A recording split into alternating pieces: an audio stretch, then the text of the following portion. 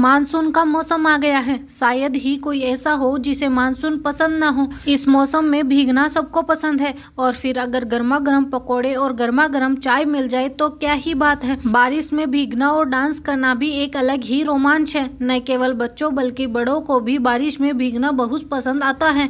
बारिश में नहाने से सेहत और त्वचा को कई तरह के फ़ायदे भी होते हैं।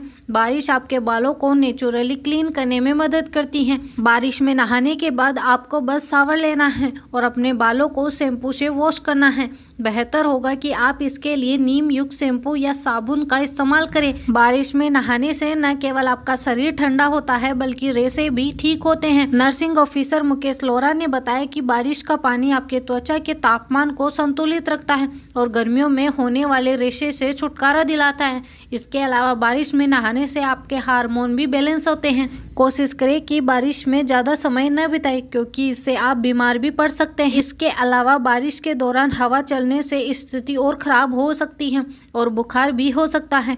वहीं बारिश में 10 से 15 मिनट बिताना और तुरंत बाद गर्म पानी से नहा लेना चाहिए। इसके अलावा ज़्यादा देर बारिश के पानी में भीगने से यूटीआई इन्फेक्शन भी हो सकता है। विशेषज्ञों के अनुसार पहली बारिश के पानी में भीगने से बचना चाहिए, क्योंकि पहली बारिश बैक्टीरिया से भरा होता है।